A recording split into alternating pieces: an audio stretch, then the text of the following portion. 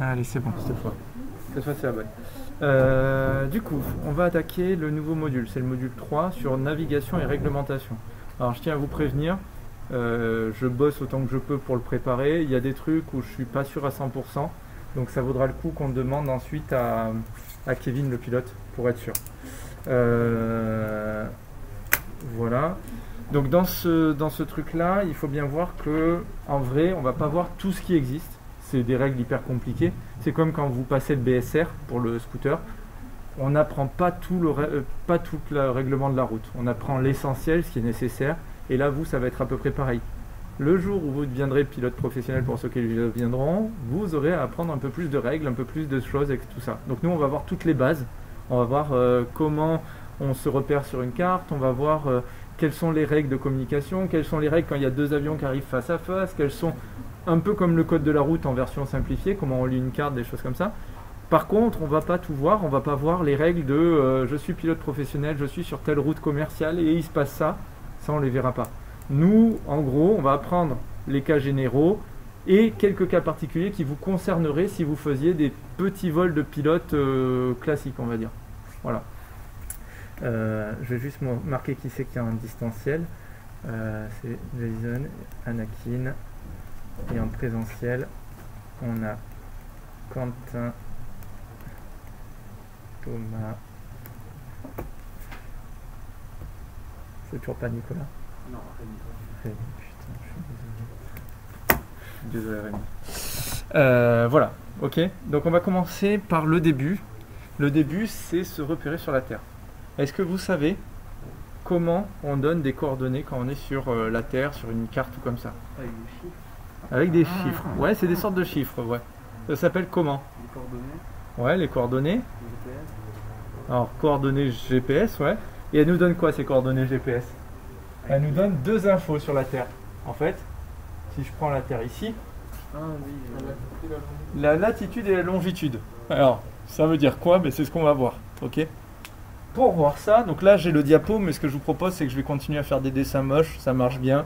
Euh, au moins euh, j'ai l'impression de mériter mon salaire. Alors, ici, ce- comment ça s'appelle La ligne qui passe au milieu de la Terre comme ça et qui fait ça? Plus simple. C'est l'équateur. Donc là, on a l'équateur. Ok, ça, c'est la ligne de référence. Elle est repérée par rapport à quoi l'équateur? Ben, Elle est repérée par rapport à ça. Imaginez, la Terre, c'est une boule. Et ça, c'est l'axe de rotation de la Terre. C'est ce qu'on appelle le nord. C'est ce qu'on appelle le sud. Alors, euh, déjà, quand je dis le nord et le sud, euh, je vous mens un petit peu. Parce qu'il n'existe pas qu'un seul nord et pas qu'un seul sud. Là, je parle du nord géographique. Ok Et on verra qu'il existe un autre type de nord. Et là aussi, un sud géographique. Ok Et il existe un autre type de sud aussi. Oui, que d'ailleurs les compacts qui sont dans les avions, ils se fient au nord. Exactement. Il se, fie non pas au nord et au sud géographique, mais au nord et au sud magnétique. Et donc ça, on va le voir tout à l'heure. Quand moi j'essaye d'aller vers telle direction, qui est celle qui m'intéresse, comme mon compas il mesure pas par rapport à la même référence que moi, il va falloir qu'on fasse des corrections euh, sur notre cap. Ok? On va le voir tout à l'heure ça justement. Nord géographique, équateur, ok? Ici, les cercles qui sont là, alors je vais essayer de garder des couleurs qui soient à peu près cohérentes par rapport à mon dessin. Euh, ouais, mais en fait, euh. Hop là. Ça, c'est ce qu'on appelle des parallèles. Pardon. Ça, c'est les parallèles. Les parallèles à l'équateur. C'est aussi ce qu'on appelle des petits cercles. D'accord? Petits cercles. Pourquoi petits cercles Parce qu'ils ne passent pas par le centre de la Terre. Si je fais une découpe de ma Terre, d'accord? Ce cercle-là, il passe pas du tout par le centre de la Terre. Donc c'est un petit cercle. Et on va voir ce que c'est un grand cercle, forcément. Ça, c'est l'équateur. Vous imaginez bien que si j'ai une référence comme ça, il va me falloir aussi une référence comme ça. La référence comme ça, je vais la faire au milieu parce que c'est plus simple, mais en vrai, elle n'est pas vraiment. Je vais faire un joli arrondi comme ça. Comment il s'appelle? Est-ce que vous savez comment ça s'appelle? Ouais. Le. Exactement. Ça, c'est ce qu'on appelle, je vais l'écrire ici, le méridien de Greenwich. Alors, Hop. Pardon. Il n'y a pas de T, pardon. Les Anglais vont pas être contents. Alors, pourquoi ça s'appelle le méridien de Greenwich? Parce que je crois que ce sont des scientifiques de Greenwich qui l'ont découvert et donc ils l'ont, ils l'ont fait commencer là. Exactement. Eh, on n'est jamais mieux servi que par soi-même. Donc les mecs, ils étaient en Angleterre, dans la ville de Greenwich. Et donc ils se sont dit, la référence, c'est nous. On l'a inventé, donc c'est nous le, zéro, quoi, en gros. hein. Le centre de tout, ce sera nous. Et ensuite, du coup, si ça c'est le méridien de Greenwich, on va avoir d'autres méridiens. Ça, ça va être des méridiens. Alors je sais pas de quelle couleur les faire, mais je vais les faire en bleu. Hop. Hop. C'est joli, hein J'espère que vous appréciez parce que je m'applique. Ok, ça, ça va être les méridiens. Ok C'est ce qu'on appelle des grands cercles. Alors plutôt des demi-grands cercles, pour être exact. Demi-grands cercles. Pourquoi ça s'appelle un grand cercle? Si je suis ce cercle-là et que je coupe la planète, ça coupe la planète au centre de la Terre. Ok? Ça va à peu près pour tout le monde? Donc voilà un petit peu l'idée des éléments qu'il faut connaître. Le concept de parallèle, le concept de méridien. Ok? Ça, c'est le concept. Est-ce que si je viens ici, ouais, je peux dessiner encore ici. Maintenant, on a parlé des deux types de coordonnées. Donc, ce que je vais faire, je vais prendre ma planète et je vais la regarder euh, vue de, de côté comme ça. Hop. Wow.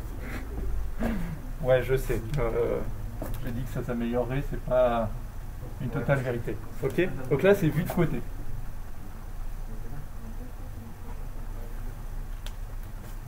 Vous n'êtes pas censé discuter au fond. Ici, je retrouve mon équateur. Et où est-ce que je trouve mes parallèles du coup? Comme ça. Boum. Ok Vu de côté. hein. C'est une projection. Normalement, ça devrait être un peu arrondi, mais c'est l'idée. Comment on va définir ici la première coordonnée, celle qui nous intéresse? Alors, je ne sais pas quelle couleur. J'ai pas assez de couleurs pour le faire, mais par rapport au centre de la Terre, le point qui est sur la planète ici, on va appeler ça là. Cet angle-là, c'est ce qu'on va appeler la latitude du point sur la planète. Ok La latitude, donc la latitude. Voyez que finalement, quand je vais décrire un point, je peux déjà ne décrire que la moitié de la planète, hein, de toute façon. Si j'arrive de l'autre côté, je retourne et c'était du même côté. La latitude, elle va être entre combien et combien? Là, c'est 0 degré, et là, c'est combien de degrés du coup? 90 degrés. Donc la latitude, elle est entre 0 et 90 degrés quand je suis dans la partie du haut. C'est ce qu'on va appeler la partie nord. Donc là, j'aurai une latitude, par exemple, de 45 degrés nord. Ok? Si j'avais été vers le bas, je vais faire un autre exemple, hein, un deuxième exemple. Si j'avais été ici, là, j'aurais eu une latitude de, par exemple, hein, 30 degrés sud. Voilà comment on donne la latitude. Donc la latitude, elle est toujours comprise entre 0 et 90 degrés. Elle est soit nord, soit sud. Voilà. Vous voyez, c'est pas trop compliqué. Ça, c'était le premier élément. Deuxième élément, on a parlé de la latitude. Deuxième élément, ça va être la longitude. Alors, pour la longitude, je vais me mettre ici. Je vais essayer de faire un œil comme ça. Je viens regarder vue du dessus. Ok? Donc là, je vais mettre vue du dessus. Et vue du dessus, la planète, elle ressemble à quoi? Euh, Comme tous les autres exemples, c'est une simplification, mais c'est un cercle. Par contre, vue du dessus, mon cercle, si je prends ma référence, mon méridien de Greenwich, c'est une demi-ligne. Un rayon, quoi, en gros. D'accord? Ça, c'est ma référence. Donc ça, c'est le méridien de Greenwich. hein. Méridien de Greenwich. Si vous remarquez, j'ai gardé, euh, j'ai gardé les mêmes couleurs pour essayer qu'on s'en sorte à peu près. Mais... Ah ben non, là non. Hop. Ah ben j'aurais dû le faire en autre chose que non. Bon, j'ai pas assez de couleurs de toute façon. Allez. Méridien de Greenwich. Comment je vais mesurer ma longitude par rapport à ça? Avec les petits cercles. Ouais, exactement, avec les autres méridiens plutôt. Ici, regarde, là j'avais une parallèle. La parallèle, Oui, oui. Mais là, il faut que tu imagines, je suis vu du dessus Et vu du dessus, ce que je vois, c'est les quartiers d'orange en fait, si on imagine. Donc quand je prends un quartier d'orange, ici, si je prends là, je vais être par exemple ici. Je vais être sur un certain méridien. Et cet angle qui est là, c'est ce qu'on va appeler, pardon, c'est ce qu'on va appeler là. Voilà, ça, ça va être la longitude. La longitude, elle est comment? Elle est plus nord-sud. Elle est par rapport à mon méridien, soit dans ce sens-là, soit dans ce sens-là. Et au plus loin, je m'arrêterai où? Ben, Je m'arrêterai jusqu'à ici, là. Je ne vais pas dépasser la moitié. Ça sert à rien. Vu que j'ai juste à partir dans l'autre sens vers la moitié. Donc c'est quoi la limite de la longitude? La plus petite valeur, c'est 0. et la plus grande? 180. Donc la longitude, elle est comprise entre 0 et 180 degrés. Et je vais préciser à chaque fois, par rapport à mon méridien de Greenwich, est-ce que je suis parti dans le sens vers l'est ou est-ce que je suis parti vers l'ouest Donc, mon, ma longitude, elle est soit est, soit ouest. attention, ouest en anglais, c'est avec un W. Ok? Si c'était en français, j'aurais mis un O. Ok, c'est bon pour tout le monde? Et en anglais, est, ça se dit East. E-A-S-T. Est-ce que ça va à peu près l'idée? Ouais. Donc là, je vous ai résumé un petit peu euh, l'idée de ce qu'on a. D'ailleurs, si vous regardez, si vous vous en souvenez plus de ça, quand on prend par exemple Figeac Livernon, alors là je vais être obligé de, prendre les coordonnées que j'ai euh, sur le, papier, c'est 44 degrés, 40 quelque chose, minutes, effectivement, c'est des minutes, 24 secondes. Nord. Et l'autre, c'est 0,01 degrés, 47 minutes 21 secondes. Est. Ok. Si vous remarquez, il y a deux choses à regarder. La première, ici, on avait dit que ça, ce serait entre 0 et 90. C'est pour ça qu'on le donne que sur deux chiffres. On sait qu'au pire, le plus grande valeur possible, c'est 90. Ok? Ici, si vous remarquez, on s'embête à préciser 0,01. Parce que cette valeur, elle est comprise entre 0 et 180. Donc au pire, j'aurais besoin de 3 chiffres. Donc, pour être sûr, on précise toujours les 3. Même si c'est des zéros. C'est bon L'idée? Euh, Un petit commentaire mathématique. 1 degré, ça fait combien de... Ça, ça s'appelle une minute d'angle. Et ça, ça s'appelle une seconde. 1 degré, c'est combien de minutes Oui 60 Exactement. 1 degré égale 60 minutes. Et, bien entendu, comme euh, quand on est dans le temps classique, une seconde, c'est... Une minute, c'est 60 secondes. Ok Donc il faut y penser quand on fait des conversions. Des fois, c'est un peu, un peu plus chiant que des conversions classiques. Je ne peux pas juste dire 44, quelque chose. Il faut faire attention parce que sur certains logiciels, quand on vous donne les coordonnées, par exemple dans Google Maps, on ne vous les donne pas toujours sous cette forme. Des fois, ils vont vous dire, ça fait 44, alors 40 secondes, ça fait les deux tiers, ça fait 66 à peu près. 66, 66 et demi. Voilà, à peu près, ça ferait 44,66, 4, voilà. Degrés. Ça là, nord. C'est la conversion de ça, mais tout ramené en degrés. En disant que 40 secondes, c'est 40 soixantièmes d'une minute. 40 divisé par 60. Pour l'avoir en virgule de, de minutes. Et celui-là, c'est divisé par 60, divisé par 60, divisé par 3600. Et c'est ça qui me donne le nombre à virgule. Ok? Alors, ça, vous l'aurez pas au BIA, je vous le dis pour vous, pour plus tard, pour tout ça. Ok? Euh, Voilà. Est-ce qu'il y a des questions sur cette partie? Non, ça va. En ligne, ça va aussi? Vous en sortez? Vous m'entendez pas trop mal? Ouais. Anakin aussi, ça va? Je sais pas si j'ai mis le son. Oui, j'ai mis le son. Ok, super. Donc là, ici, je passe vite fait sur le, diapo. Le diapo, en fait, il vous réexplique la même chose, mais je préférais le faire en direct. Je trouvais que c'était un peu plus... Euh, là, c'est des diapos fixes, donc euh, voilà. Donc on reprend en gros les mêmes idées. Hein. avec les parallèles et les méridiens, avec le pôle nord et le pôle sud géographique. Ici, la latitude, elle est donnée par l'angle entre l'équateur et le, la parallèle concernée. Ok, voilà. Et c'est la latitude, ok, ça c'est ce que je vous ai dit, elle est nord ou sud. Et la longitude, c'est ce que je fais en regardant la planète vue d'en haut. Et donc quand je suis vu d'en haut, j'ai mon méridien Greenwich. Je mesure l'angle par rapport au méridien Greenwich. Et c'est ce qu'on appelle la longitude. Voilà, merci. Bonne journée. Je peux les garder? C'est bon? Voilà pour cette partie. Donc, si je regarde la, truc en 3D, vous voyez que je m'y suis pas risqué parce que bon, faut pas abuser mes dessins, de, mes talents de dessinateur se sont arrêtés là. Euh, en 3D, on voit que mon point ici, qui est le point A, il est donné par un certain décalage par rapport à Greenwich, au méridien de Greenwich, et un certain décalage vers le haut, comme ça, un certain angle par rapport à l'équateur. Et donc, on a bien sur le même dessin la latitude et la longitude. On a les deux. Ouais. Profondeur. Alors, la profondeur, c'est pas donné par les coordonnées comme ça. La coordonnée nous donne juste, théoriquement, je suis d'accord avec toi. Ah, tu vas m'obliger à faire un dessin de qualité.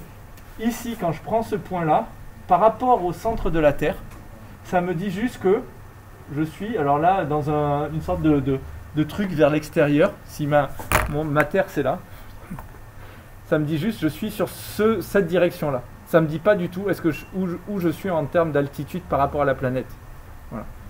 Mais effectivement, c'est une bonne question. Donc, les coordonnées ne nous donnent pas d'infos sur notre altitude, ni la hauteur, ni quoi que ce soit. D'ailleurs, heureusement, vu que ça dépend du terrain. Voilà. C'est-à-dire, si tu es dans un immeuble, que tu sois au 12e ou au sous-sol, tu es aux mêmes coordonnées GPS. Ok? Et après, comment est donnée l'altitude elle est donnée parce que le GPS, il y a un aller-retour du signal et donc il peut calculer le temps de trajet et donc il peut savoir ton altitude. Mais c'est un calcul qui est séparé de latitude et longitude. Ok? Ok, voilà. Donc là, c'est ce que je vous disais sur ça. Ok? Ça, on l'a dit aussi, je vous l'ai dit, tout ça. Maintenant, les distances sur la Terre. Le problème, c'est que euh, la Terre, c'est ce qu'on a vu jusqu'à maintenant, c'est une sphère. Et donc, si je prends deux points, un point ici et un point ici, j'ai beau être sur l'équateur tous les deux, la distance, eh comme je suis sur une sphère, c'est pas juste la distance entre les deux points directement. Comme ça fait un arrondi, il faut prendre en compte que c'est arrondi. Et là, je l'ai fait un cas simple. Si on prend un arrondi comme ça, plus un arrondi vers le haut, ça nous fait une diagonale qui est arrondi, arrondi quoi. Donc ça, c'est un peu plus, euh, on va dire que c'est un peu plus compliqué à prendre en compte. Pour ça, il faut se souvenir que la définition de une seconde d'angle, d'accord, c'est, alors ici, une seconde d'angle, la distance qui est parcourue quand on fait une seconde d'angle, une minute d'angle, pardon, c'est un miles nautique, un NM. Ok, donc ça c'est une définition à connaître, absolument. Donc je vais enlever ce, ce truc-là parce que ça c'est pas important. C'est que ici, quand je prends le rayon de la Terre, quand j'ai fait ici une minute, cette distance-là, c'est 1 nautic miles. Ok? Ça, c'est à connaître absolument. Un nautic mile, est-ce que vous avez une idée de à peu près combien c'est? C'est environ 1,8 km. Pour être exact, c'est 1,852 km. 1852 mètres. Ok? Voilà. Ça, c'est important, cette définition, de temps en temps, elle pourrait apparaître euh, en tant que question. Ok Comment on calcule la distance entre deux points sur une carte? Alors là, c'est pas forcément évident. Euh, il faut d'abord relever au compas les deux points sur la carte et ensuite on va venir la reporter sur un méridien. Donc les méridiens, je vous rappelle, c'est ça. Ok? On reporte sur un méridien et en fait sur la carte, euh, on, va, on va savoir exactement la- l'angle qui est donné entre les deux. Et donc ça va nous dire, ben, comme je sais que une minute c'est un nautic miles, ça va me donner directement la distance en nautic miles. Est-ce que c'était à peu près clair ou pas du tout? Pas du tout Je fais un schéma Ah, vous faites ça juste parce que vous aimez mes dessins, je le sais. C'est magnifique. Alors, j'ai ma carte. Wow. Carte d'une qualité non négligeable, en remarquant. Sur ma carte, il y a plusieurs infos. Notamment, il y a les méridiens. Ok Mais aussi, du coup, il me donne quoi d'autre? Les parallèles. Ok Donc, je vais avoir en gros des coordonnées, euh, des trucs comme ça. Je ne sais pas bien faire et je n'ai pas vu assez de cartes pour vous donner le cas général. Mais si je voulais mesurer la distance entre ce point et ce point, j'ai deux villes là, une ville A, une ville B, et je veux savoir cette distance-là. Je prends mon compas. Il y a mon compas. hein. Euh, je prends mon compas et je vais venir le reporter ici. Donc là, voilà, ça c'est l'image de A, je vais l'appeler par exemple A', et ça c'est l'image de B, B'. Donc cette distance-là, là, c'est la même que celle-là. D'accord? Et donc du coup, sur ma carte, je vais pouvoir lire l'angle. Je vais lire que par exemple j'avais, euh, j'en sais rien, une minute, non je vais mettre deux minutes, euh, j'en sais rien, je mets n'importe quoi, 2 minutes 54. Ok? Ça va? Je vais faire plus simple, je vais mettre 2 minutes. Et bien je sais que entre A et B, j'ai 2 miles nautiques.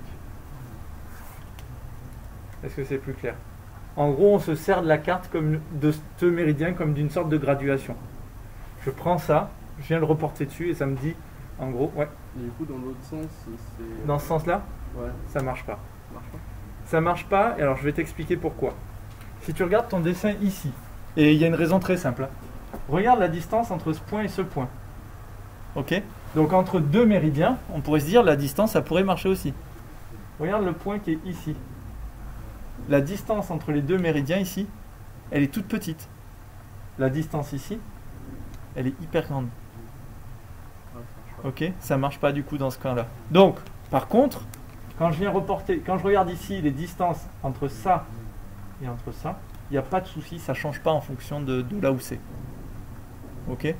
Voilà un petit peu l'idée. C'est de toute façon la, alors, la, la- la mesure elle est donnée précisément sur la carte. Après, comme je l'ai jamais fait, je peux pas vous dire plus que la théorie de, de ce que j'en ai compris. Ok, il faudra le valider ça avec Kevin. D'accord Avec une vraie carte. Je lui demanderai d'amener une vraie carte pour qu'on ait des exemples. Euh, voilà, c'est ce qu'on disait tout à l'heure. Il ne faut pas l'utiliser sur les parallèles parce que ça dépend des points euh, où on est et que les distances ne sont pas toujours les mêmes. Ok. Euh, voilà. Il existe une autre méthode. Je vous la donne ici, d'accord? Euh, Je ne l'ai pas vue apparaître du tout dans les, dans les annales. Donc a priori, je pense qu'il ne faut pas la savoir. On vous l'a dit pour que vous la, la compreniez. Euh, par les coordonnées, en fait, quand je veux savoir la distance euh, A'B', j'ai le petit d euh, ici, et bien je mesure la même chose sur les deux méridiens en bas, c'est grand D, et en fonction de où ça se trouve sur la planète, il y a une proportionnalité qui dépend de la latitude. Donc du coup, en gros, on peut faire la formule petit d c'est égal à grand D fois un certain facteur qui dépend de où je suis. Le cosinus de l'angle en gros. Voilà. Je vous fais pas la preuve parce que c'est pas intéressant et qu'elle est compliquée. Et en plus, vous en fichez. Ce qui est, important, c'est comprendre qu'effectivement, on peut pas juste faire ce que tu proposais tout à l'heure en fait. On le voit bien dans cette formule. Voilà. En pratique, ce qu'on utilise euh, en tant que pilote, hein, on prend la carte, on prend le compas, on reporte et on se fait pas chier avec un calcul théorique qui a pas, pas plus de sens que ça. Après, si c'est des longues routes commerciales, je sais pas. Si ça se trouve, pour des très longs trucs qui dépassent de plusieurs cartes, peut-être qu'ils font ça, je sais pas. Je saurais pas dire. Ok Voilà. Ce qu'il faut bien voir, c'est que les cartes et les mesures de distance ont toujours des erreurs. Elles ont des erreurs parce qu'en fait, vous imaginez, ça c'est une sphère. Comment je représente une sphère sur un papier. Alors un truc plat, ouais, mais en fait ça dépend de comment je vais dérouler ma sphère, comment je, comment je la coupe ouais, pour que ça marche? Et bien en fait, ce qu'il faut voir, c'est qu'il existe des dizaines et des dizaines de découpages possibles. Je vous montre des exemples. Mercator, alors on va peut-être éteindre la première lumière pour que vous y voyez. Je suis désolé, on est chambre. Est-ce que ça te gêne si je fais ça? Non, ça va Ici, Mercator, c'est la plus connue, d'accord? En gros, ils ont pris, ils ont essayé de faire une ouverture euh, ici, là, et ils ont fait semblant de redéplier comme ça à plat. Ok? Ça nous donne ça. Le problème, c'est que vous allez voir, je vais vous montrer d'autres projections et vous allez me dire ce que vous en pensez. Je prends Lambert, ça a été ouvert différemment. Alors vous y voyez peut-être pas très bien, c'est peut-être un peu flou. Mais déjà, si je regarde la taille, par exemple ici, regardez la taille de ce continent par rapport à la France. Vous voyez que on a, suivant la projection, on a des déformations, et je parle même pas de l'organisation géographique, je parle déjà des tailles relatives. Comme les tailles, c'est pas les mêmes, ça veut dire que les distances sur une des deux cartes, elles sont pas bonnes à certains endroits. Voilà. Alors, je vous disais, il en existe plusieurs. Là, on en a encore une autre, écui rectangulaire. Voilà. Ok. Bon, ce qui est sûr, c'est que quoi qu'on fasse, à partir du moment où on représente une sphère sur un carré plat, ce sera forcément faux. C'est forcément faux, une sphère. Bah, les espaces entre ce point-là et ce point-là, c'est très proche. Or, ici, on a l'impression que ces points-là, ils sont très loin. Vous voyez ce que je veux dire, un peu l'idée? Donc, suivant ici, on voit bien qu'ils sont très proches, mais à contrario, on voit que ces points-là sont à l'opposé, alors qu'en fait, ils sont très proches aussi, normalement. Donc, il n'y a pas de bonne solution. Il y a des solutions moins pires dans certains cas. Par exemple, si je m'en fous d'aller au Groenland, il y a certaines projections qui sont mieux pour le centre, pour tout ce qui est proche de l'équateur. Il y a des projections qui sont mieux pour. Voilà. En gros, c'est ça l'idée, quoi. D'accord? Donc nous, on s'en fiche. Il faut juste que vous, vous sachiez que il y a plusieurs projections et que de toute façon, quand on choisit une projection, ça rend les chances fausses. La seule vraie chose qui n'est pas fausse, c'est de prendre une sphère et de mesurer sur la sphère. Bon, on se balade pas avec une sphère sur soi. On se balade avec une carte. Ça se plie un peu mieux. Voilà, ok? Par contre, les GPS, eux, peuvent donner la distance entre deux points à partir de leurs coordonnées. Euh, les cartes, euh, du coup, elles sont fausses. Elles sont fausses. C'est-à-dire qu'elles sont précises avec un certain degré de précision. Pour. Ce qu'il faut voir, c'est que cette erreur, elle est pire à certains endroits qu'à d'autres. D'accord? Donc les cartes, ils vont aussi adapter le choix en fonction de ce qu'on a besoin. Ils vont essayer de faire des cartes qui soient pas trop fausses à chaque endroit. Et comme la carte, euh, les, les cartes qui sont utilisées en aéronautique, elles couvrent pas toute la planète. Elles couvrent des régions d'une certaine taille. Un peu comme en voiture, tu peux avoir la carte de France, ouais, mais celle qui est utile pour conduire, bon, vous faites plus avec les cartes euh, papier, mais vous avez peut-être vu vos parents faire ça. Ils ont des pages, et on va voir la page qui nous intéresse pour voir la liste des routes qui existent. Voilà. Et bien là, c'est pareil. Les cartes d'aviation, c'est des cartes par région. Et je vais prendre la carte de la région. Et donc, cette carte, comme je suis sur une taille limitée, l'erreur, bah, elle est limitée sur cette région-là. Voilà. Après, si je prenais toutes les cartes et que je les collais côte à côte et que je faisais des mesures sur plein de cartes collées côte à côte, là, l'erreur, elle serait énorme. Bon, après, il faut avoir envie de faire des posters, quoi. Ok Euh, J'ai répondu à ta question à peu près Ok, très bien. Alors maintenant, on va attaquer euh, le concept de cap. De cap, pardon. Quand je veux me rendre à un point précis. Ok Je vais continuer mes super dessins. Hop. Je veux me rendre à un certain point précis. Ceci, c'est ma planète. Ça, c'est de nouveau mon méridien. Je suis à un endroit hein, et je veux aller à un autre endroit. Je suis à A, je veux aller à B. Ok ça, c'est ce qu'on va appeler la route vraie. C'est-à-dire que par rapport au nord, ça c'est mon nord, hein, ça, euh, ça m'indique mon nord, et bien je vais avoir une certaine route vraie. Le souci, c'est ce que nous disait Rémi tout à l'heure, c'est quoi? C'est que l'instrument que j'utilise dans, dans mon avion, lui, est-ce qu'il me donne le vrai nord? Non. Pas du tout. Et du coup, est-ce que je suis un peu déçu? Oui. Un petit peu. Mais Donc du coup, ça je l'ai fait sur la planète pour que vous voyez. Ouais. il n'y a pas un décalage justement sur l'instrument comme ça? Exact. Alors non. Alors Sur euh, les graduations, il n'y a pas un décalage? euh, je me souviens pas. Bonne question. Parce que du coup, on Sur le compas magnétique, est-ce qu'il y a un décalage possible pour prendre en compte la déclinaison Euh, non. Non, je crois pas. Mais non, parce que le nord magnétique lui change pas. Ouais. En fait, je crois que euh, ce qu'il faut vo- voir en plus, c'est que cette déclinaison, bon, je vais en parler là à l'instant. La déclinaison, donc c'est l'écart entre le nord géographique et le nord magnétique. Elle dépend de là où tu es. Je vais essayer de te faire un dessin. Euh, je vais te faire un dessin comme ça. Bon. J'espère que vous êtes prêts. On se moque pas. hein. Trop vite. Ceci, vous l'avez tous reconnu, c'est la France. Ah ouais. J'avais dit on se moque pas. Hein. Euh, oh, ça va, c'est Hop, la France. Voilà, C'est mieux Ok, c'est la France. Il faut voir que Grande-Bretagne. euh, Grosse-Bretagne. le quand je suis là ou quand je suis là, ça change des choses, d'accord? Parce que ici, le nord géographique, je vais l'appeler NG, il est là. Là, le nord géographique, bon ben il est aussi là. Euh, Jusque-là, euh, c'était pas compliqué. Par contre, le nord magnétique, par rapport à vue de la France, il est quelque part vers euh, là. Ça veut dire qu'en fait, je vais exagérer les choses volontairement pour que vous le voyez. hein. Si je prenais à cet endroit-là, si mon nord magnétique il était vers là, là j'aurais ici la direction du nord magnétique. Mais ici, en abusant volontairement pour la qualité du dessin pour qu'on y voit, le nord magnétique serait ici. C'est-à-dire que la déclinaison, ici, là, elle est assez petite, et ici, elle est assez grande. Même à l'échelle de la France, ça change énormément. Ici, pour vous donner un ordre de grandeur, je l'avais relevé quelque part, on est à peu près à 1 degré ouest. Ok? Ici, on est à peu près à 5 degrés 30. Oula. Ouest. Ouais. Ça veut dire qu'il y a une différence non négligeable. Alors non négligeable, oui et non, mais on va voir que ça a un impact sur quand on fait nos tracés et quand on pilote ensuite. Ok? Ça va à peu près? Je vous ai pas encore trop perdu? Cool. Euh, je peux effacer ça? Ok. Ouais. Merci.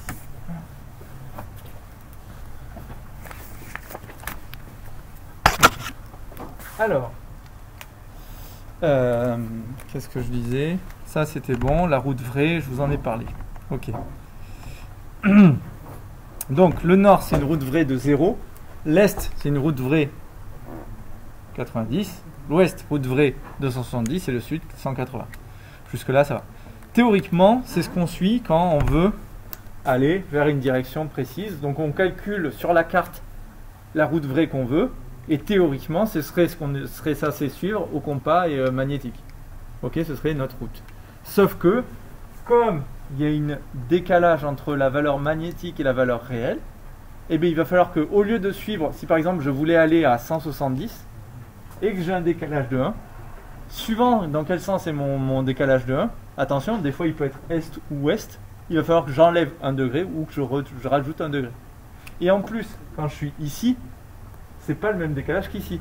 Donc si au début j'ai une route magnétique, si j'ai une route qui fait d'abord ça et ensuite ça, ici à ce point-là, il faut que je reprenne la valeur et de temps en temps, il faut que je rechange mes valeurs de déclinaison pour en tenir compte.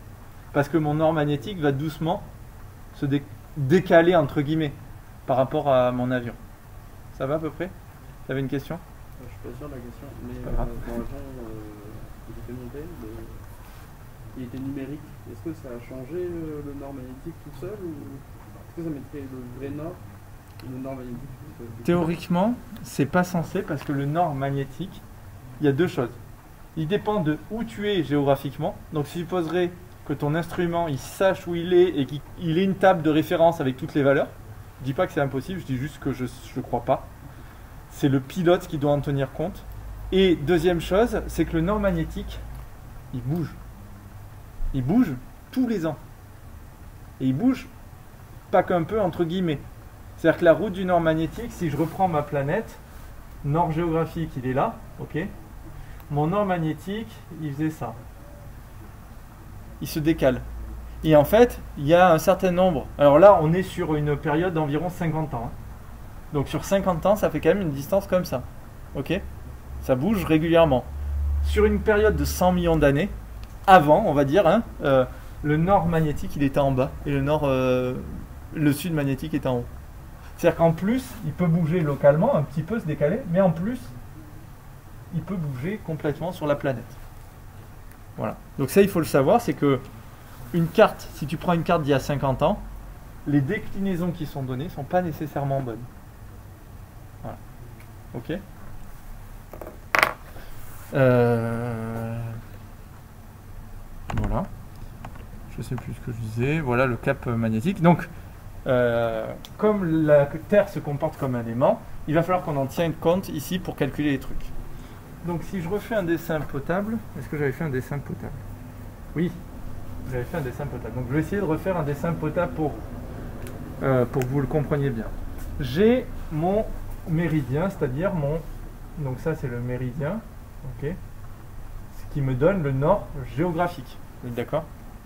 Je vais avoir ici, alors j'ai pas suivi euh, du tout les couleurs que j'avais fait pour vous, mais je vais suivre celles que j'ai fait pour moi.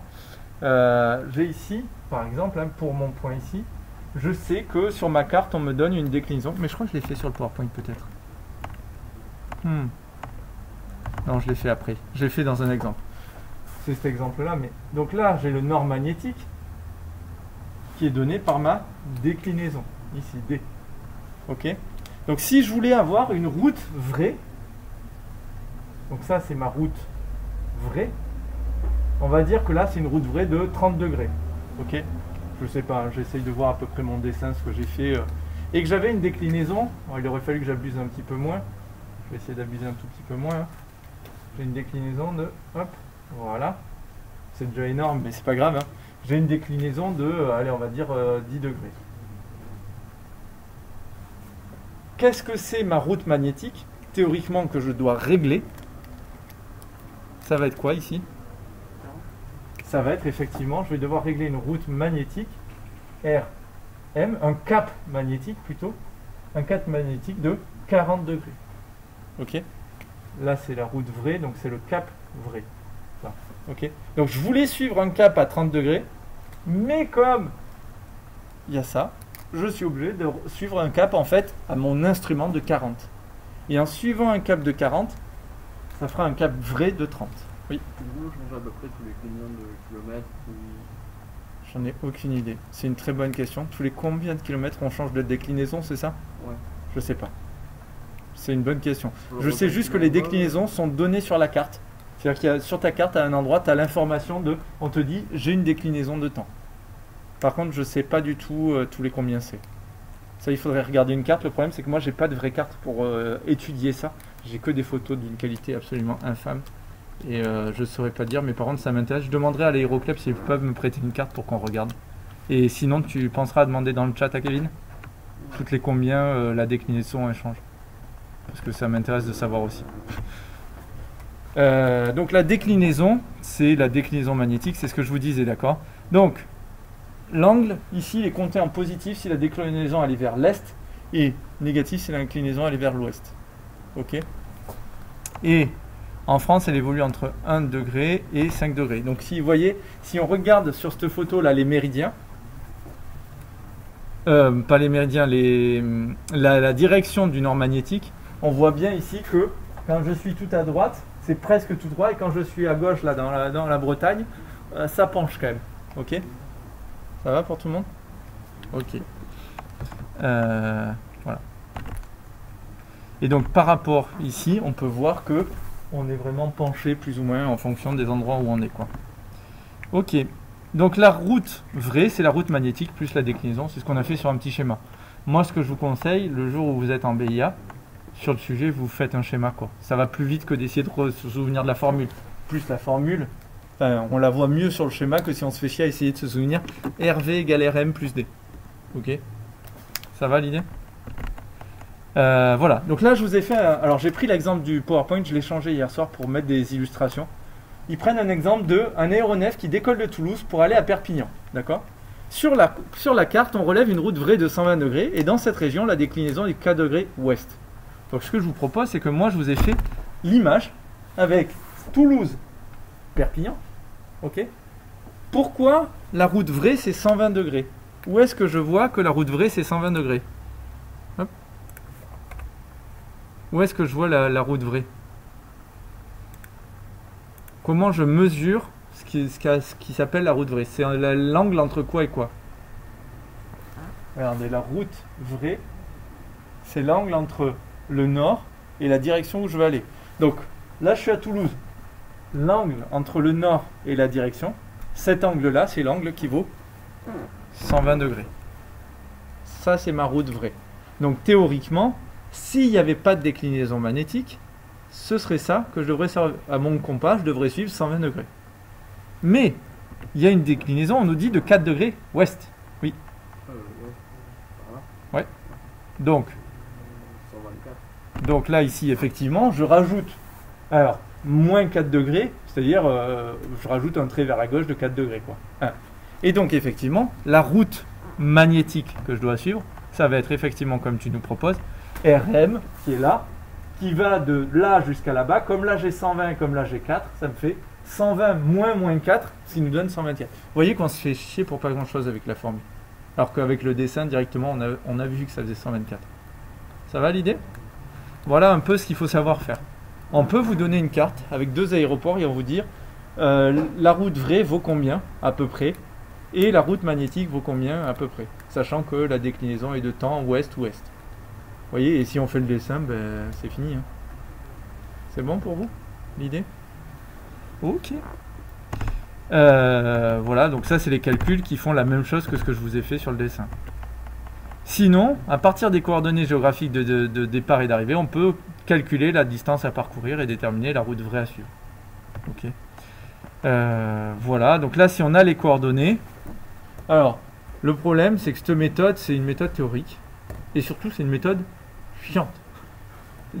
La meilleure méthode, ça reste quand même de tracer sur la carte. Ok C'est mieux de mesurer les distances sur la carte. Mais on peut le faire par le calcul. Donc là, ici, si je prends ici mon calcul, là j'ai une variation de latitude, là j'ai une variation de longitude, d'accord Qui sont en degrés à chaque fois. Ok Le problème, c'est que des degrés, c'est des angles. Est-ce que j'ai le droit de combiner des angles? Non, j'ai pas le droit. Donc ce qu'il faut, c'est que je convertisse ces angles en distance. Et à la fin, je ferai un joli théorème de Pythagore. Ok, dans un triangle avec des distances, j'ai le droit de faire Pythagore. Avec des angles, niet. Ok, c'est des angles qui représentent des distances. C'est un peu la mort hein, comme euh, technique. C'est une technique théorique. Ok, donc je vais vous la montrer, mais en vrai, il n'y en a pas besoin. Donc vous n'avez pas besoin de la retenir. Ici, on prend les différences. Donc là, je vais faire la différence entre les deux. 46 degrés 10 minutes, moins 45 degrés 30 minutes. Ce qu'il faut imaginer, c'est que je suis à 40, en heures et en minutes, si c'est plus clair pour vous. hein. Ici, je suis à 30 minutes et je vais passer aux 10 minutes du degré d'après. Donc en tout, j'ai combien? J'ai 40 minutes. Pour passer de 30 à 10, j'ai 40 minutes. Ok? Ça paraît bizarre sinon hein, de le dire comme ça. euh. Euh, L'autre, j'essaye de passer de 1 degré 20 minutes à 2 degrés 40. Donc là, pour passer de 20 au degré 2, il me faut 40 minutes. Et pour passer à 40, il va me falloir 40 minutes de plus. Donc en tout, ça me fait 80 minutes. Soit dit différemment, 1 degré 20 minutes. On peut le voir. Vous voyez l'idée? Sauf que ensuite, donc ici, on avait dit que les longitudes, quand j'ai une minute en termes de latitude, pardon, une minute en latitude, on avait dit c'est la définition de un maïs nautique.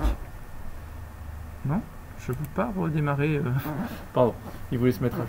Euh, un- une minute quand je suis en latitude, c'est un, miles nautique. Donc là, ici, mes 40 minutes pour DL, c'est 40 miles nautiques.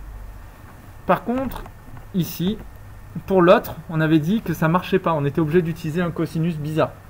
Et ben c'est de la merde. On est obligé de réutiliser la formule pourrie. Je vous avais dit qu'on n'utiliserait pas. Donc ils le font. Sauf que cette formule, on était obligé de l'utiliser avec soit ça, soit ça. Et bien là, pour faire une formule à peu près, ils vont utiliser, au lieu d'utiliser que celle-là ou que celle-là, ils vont prendre la valeur du milieu. Voilà. Et ils vont se dire, on est à peu près en moyenne sur mon trajet, je suis à cette, ce- cette hauteur-là. Et donc cette longueur-là, elle vaut à peu près, rapportée correctement sur un méridien, à peu près ça. Vous voyez qu'on est dans une méthode qui est pérave. hein. Vraiment, on n'est pas dans la, la méthode euh, ni pratique, ni rapide, ni tout ça. Le pilote, euh, s'il doit faire ça pour ses préparations, il se fait un peu chier. Ok? Et donc là, ici, on a 40 miles nautiques ici, 57 ici. Et là, par contre, fou, on est avec des distances. On peut se faire un bon vieux Pythagore parce que je sais que vous adorez ça. Racine de dl carré plus dl carré, ça nous donne 68,6 ni- nautiques miles. Comparé à ma technique du compas que je reporte sur mon méridien, on s'est grave fait chier. hein. ok, il y en a un qui nous prend 10 secondes, il y en a un autre, et 10 minutes après, on y est encore. quoi. Ok Et en plus, on fait des approximations. L'autre, on fait aussi des approximations d'erreurs de mesure, mais euh, enfin, ça va vite. quoi. Donc euh, bon. Ok Et pareil, ici, on peut trouver la route vraie avec cette méthode. Ok C'est pas très intéressant. Ouais.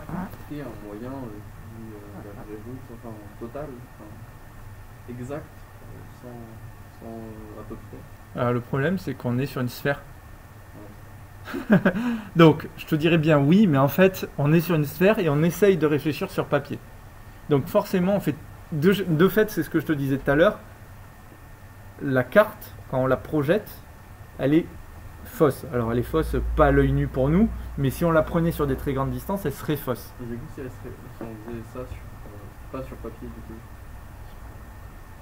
Alors, avec l'outil informatique, on serait capable de faire des choses parce que l'ordi, il est capable de projeter dans tous les sens, de faire des coordonnées en trois points, en trois dimensions.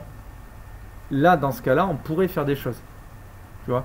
Mais nous, en tant qu'humains euh, classiques et avec nos outils sans ordinateur, et puis en vrai, est-ce que c'est critique? Non, parce qu'il y a une raison, il y a un truc qu'on a oublié ici. Très bien, je suis mes 40 degrés. Ouais Ouais, sauf qu'il y a du vent, en fait. C'est-à-dire que j'ai beau être pointé vers là, s'il y a du vent qui vient par exemple comme ça, mon avion, il fait ça.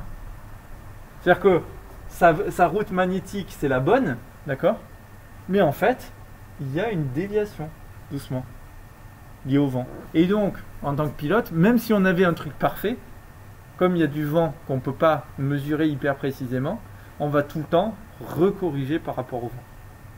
Voilà. Donc, ça sert à rien de faire un truc parfait, sachant que le monde autour de nous, il a des perturbations. Et qu'on peut ni les connaître par cœur, ni les maîtriser, ni les mesurer en permanence. Donc, ça sert à rien de faire un truc au, millimètre si tu sais que ton avion, de toute façon, grâce au vent, il peut prendre plusieurs mètres. Voilà. Ça répond un peu à la question. Merveilleux. Voilà. Du coup, on va parler un tout petit peu des cartes. Euh, donc, les cartes, euh, il faut voir que suivant ce qu'on fait, on n'utilise pas les mêmes cartes.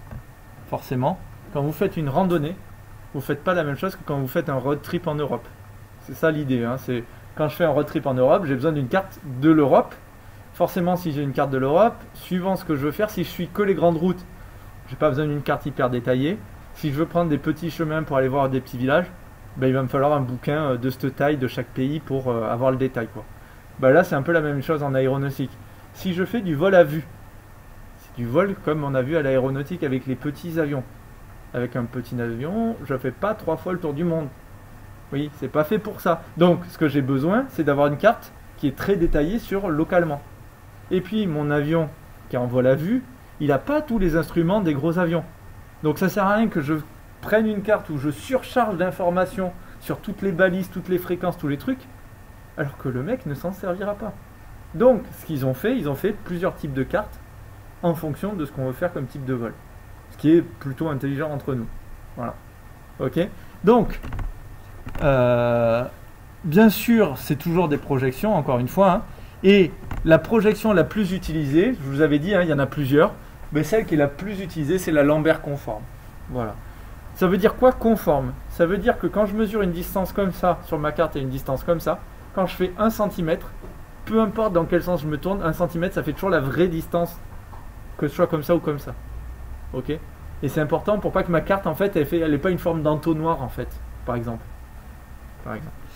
Euh, voilà. Et vous voyez que on va avoir plusieurs trucs. Alors vous le voyez pas très bien ici, mais on va avoir des cartes 1 500 millième, 1 1 millionième, voire même 1 2 millionième. Hop, pardon, je change mes feuilles. Ok.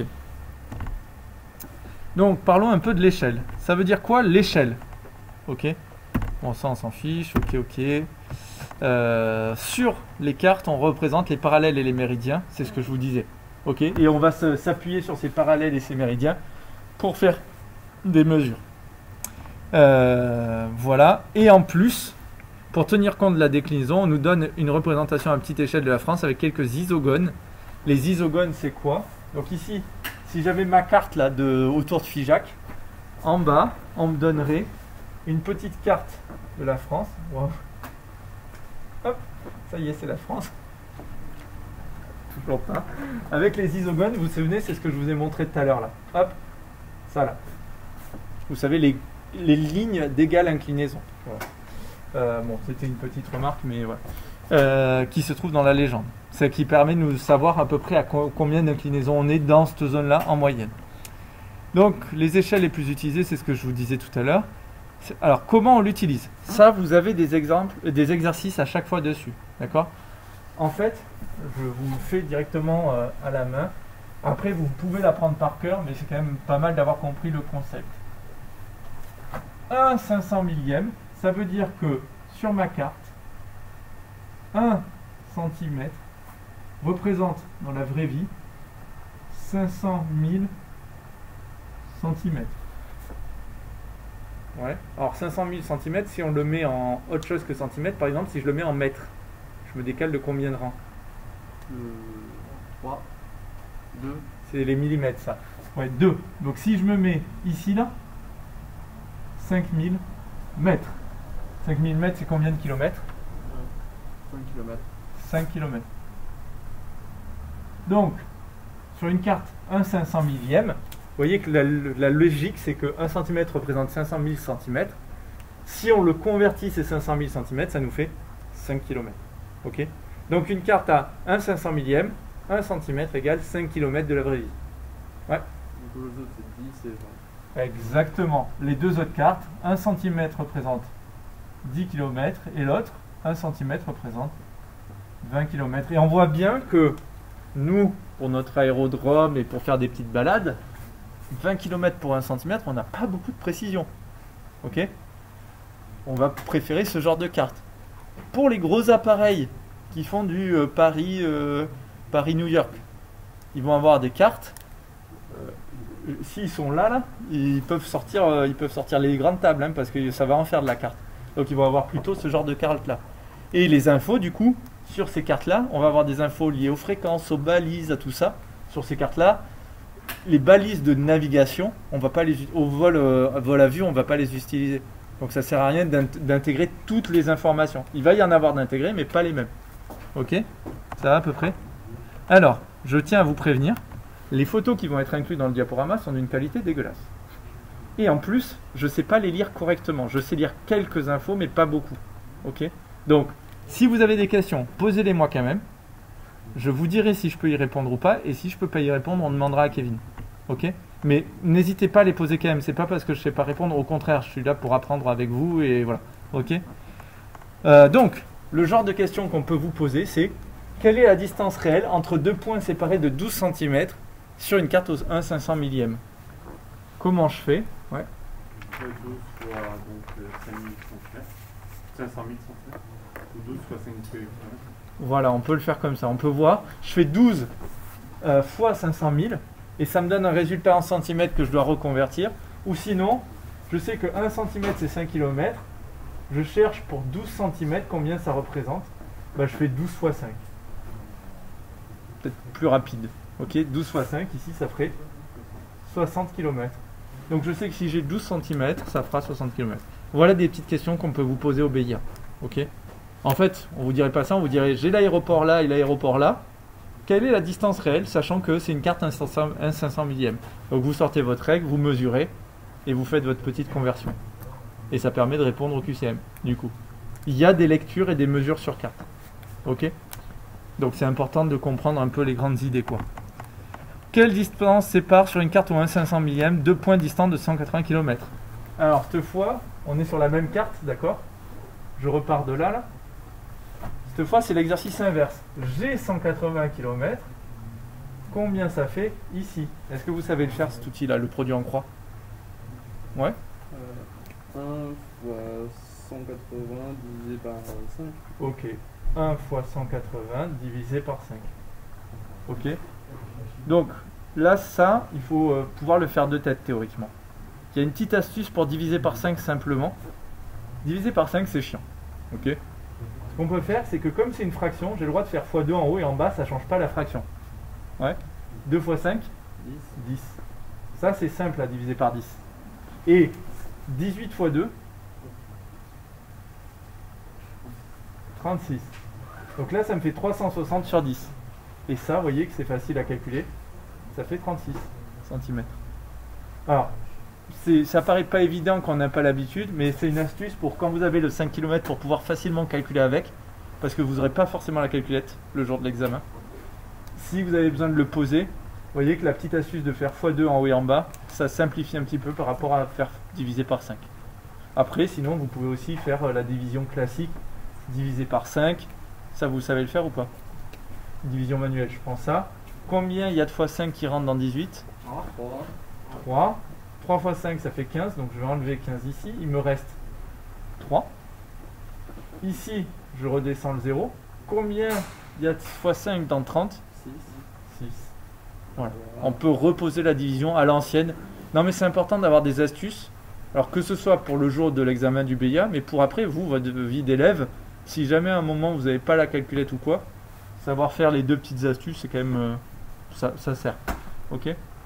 Bon, je dis pas que vous allez vous en servir, mais en BTS, le produit en croix, c'est l'outil le, plus utilisé. hein. Voilà. Oui, oui, vas-y.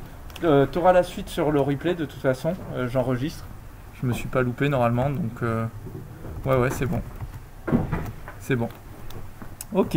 Donc là ici, on vous dit euh, repérer sur une carte au 1,5 millième les, les villes de Figeac et Toulouse et en déduire la distance qui les sépare. J'ai pas de carte, je peux pas vous le faire faire et j'en suis désolé. Mais c'est prévu de demander une carte ou au pire d'en acheter une quoi. Ok Ce qu'il faut voir, c'est qu'en fait, pour pas se faire chier, au lieu de à chaque fois mesurer et refaire la conversion dans la tête, il existe des, des règles aéronautiques qui est directement, on va dire que j'achète une règle 1,500 millième, bah directement, au lieu d'avoir 1 cm, il y a marqué 5 km, 10 km, etc. Tous les centimètres, c'est gradué en kilomètres ou en nautic miles. Parce qu'en plus, ils font les petites conversions parce qu'ils sont mignons. Et donc, sur ma règle, directement, je pose ma règle et hop, j'ai la distance en kilomètres ou en nautic miles. Ok? Bon, ça, c'est des outils, c'est pareil, ça coûte 7 euros. hein. On peut pas dire que ce soit un investissement, euh, voilà. Mais c'est important de savoir que ça existe et que du coup, ben voilà. Euh, voilà, donc ça c'est ce qu'ils ont fait, c'est un exemple. Ils l'avaient en vrai la carte, nous on l'a pas, donc je peux pas le faire. Désolé. Mais bon, c'est pas très grave. Alors maintenant, ce qui est intéressant, c'est de voir qu'est-ce qu'il y a sur cette. euh, euh, pas de souci, euh, Jason. Ouais. Euh, c'est qu'est-ce qu'il y a sur cette carte 1 500 millième. Alors sur cette carte 1 600 millième, si vous voyez, il y a euh, beaucoup de choses. c'est un peu le bordel. Hein. Euh, c'est un peu le bordel, mais en fait, quand on sait ce qu'on cherche, on voit ce qu'on cherche. On voit ce, qu'on, ce qui est important. Alors, je vais vous donner des exemples. Je vais prendre ici le, le stylo. hein. Par exemple, pardon? Donc là, on est à Calais, voilà. On a ici, je ne sais pas si vous voyez, ici, il y a marqué un truc. Là, là, il y a marqué CTR. Donc en fait, ici, là, ici, il y a une zone, ronde, autour de l'aérodrome, qui s'appelle le CTR. Le CTR, c'est quoi? Ça fait partie des notions que vous devez savoir qu'on va revoir un peu plus tard. Mais le CTR, c'est ça.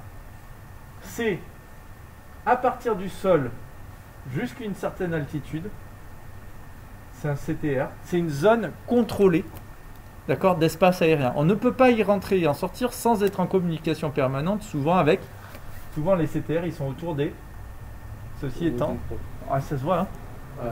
Merci, merci. Donc autour de la zone de, de la tour de contrôle. Ça, c'est la partie, euh, c'est une partie comme ça. Sauf que ce qu'il faut bien que vous imaginiez, c'est que quand il y a des avions qui décollent, c'est des gros avions, hein, il faut quand même dans l'espace aérien qu'il n'y ait pas un petit coucou qui vienne traverser les, en gros les grandes voies aériennes de décollage, d'atterrissage. Donc en fait, on a des CTR et on a aussi, attendez, des TMA ou de CMA. Alors là, je. Ouais, des CTA plutôt. Ok. Des CTA qui sont à partir d'une certaine altitude jusqu'à l'infini. CTA, c'est plutôt des espaces tout autour qui permettent de dire, euh, ou TMA, je ne sais pas exactement la différence, il faudra qu'on vérifie la, différence avec euh, Kevin, euh, qui permettent de dire toute cette zone autour à une certaine altitude, attention, c'est aussi des zones réglementées parce qu'il y a des, départs, des décollages et tout ça. Et donc si on regarde ici, on le voit écrit, on voit TMA, TMA Lille 6, je ne sais pas si vous le voyez, TMA, je ne sais pas ce qui est écrit, Dostant, bref, ok. Donc le TMA il est là, hop. Waouh, c'est les pointillés là. Je sais pas si je les ai bien repérés, mais on voit qu'il y a FL 0,55 et il y a surtout une fréquence aussi, ici. Ok Voilà en gros euh, l'idée de ce qu'il faut retenir. Donc là ici il y a des zones. Là avec le CTA on a aussi une fréquence. Ok Voilà un petit peu l'idée. Je reste, je reste sur ça parce que je ne peux pas vous en dire beaucoup plus. Mais voilà ce qu'on trouve d'intéressant pour ce genre de, petites cartes. C'est-à-dire que même quand on est avec des avions euh, vol à vue, il faut penser qu'il y a des zones. Et on va voir un peu plus tard les catégories de zones. Hein. Euh, ce qu'on appelle les zones P, les zones D. C'est des zones qui sont protégées ou dangereuses ou réglementées dans lesquelles on n'a pas le droit de rentrer. Oui euh, Est-ce que quand on est dans CTR, on doit être en communication avec les CTA aussi Enfin les deux en même temps Non, parce que regarde, théoriquement, théoriquement, hein, le CTR s'arrête à une certaine altitude, le CTA à partir d'une certaine altitude. Théoriquement, les deux sont censés être euh, se coupe à ce niveau-là, quoi. Oui. Est-ce que les CTA, ça compte aussi pour les fusées? Est-ce que les CTA comptent aussi pour les fusées? J'en sais rien. Je suppose que les zones de lancement de fusées sont des espaces aériens contrôlés avec une altitude ici quasi infinie. Je sais pas. Ça, il faudrait demander. Les zones de lancement de fusées, je sais pas du tout comment ça se passe. Déjà que pour les avions, pour l'instant, je sais moyennement. Mais euh, c'est une bonne question par contre. Il faut penser à la poser à Kevin. J'espère que tu les notes au fur et à mesure pour les. Pour Pourquoi tu m'as pas demandé? Ici, j'ai un stylo qui a été désinfecté.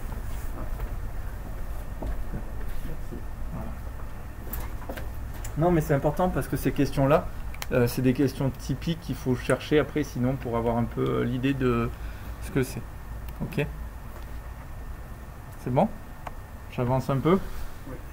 Alors, euh, ce qu'on reverra, c'est que dans l'espace aérien, il va y avoir, euh, il va y avoir des zones autres. Alors, les trois zones qu'il faut connaître, c'est la zone P, la zone R, la zone D, d'accord? P, c'est pour prohibited. Prohibited, si on le dit un peu à la hmm. française. Ça veut dire quoi, prohibited? Prohibited Ça veut dire interdit. C'est des zones interdites, notamment euh, zone militaire spécifique, etc. etc. R, c'est pour restricted, restreint en français, euh, ou réglementé, on peut dire aussi comme ça. Euh, voilà. Et D, c'est pour des zones dangereuses. Voilà. Donc ça, c'est des zones un peu particulières. Il y a souvent des questions sur ces zones-là, mais on les reverra un peu plus tard et elles sont dans les fiches. Ok? Ça, c'est des zones mais euh, il faut voir que l'espace aérien, il est rangé en plusieurs classes. Les classes, ça fait A, B, C, D, E, F, G. Ok? Ces classes-là, on va les voir un petit peu plus tard, hein, mais euh, en gros, euh, G, c'est ce qui est des zones non contrôlées. BCD, c'est des zones contrôlées. Et A, c'est que pour les vols aux instruments. Alors, à quel endroit on trouve ces trucs-là? Euh, On les trouve en fonction de la hauteur.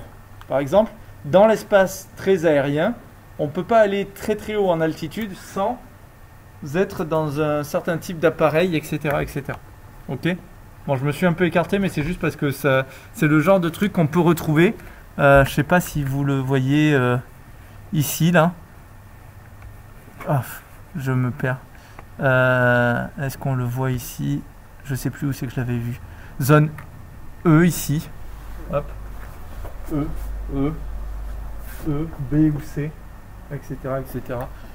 Il faudra voir un peu plus avec Kevin. Je suis pas encore spécialiste de la lecture des cartes. Ok.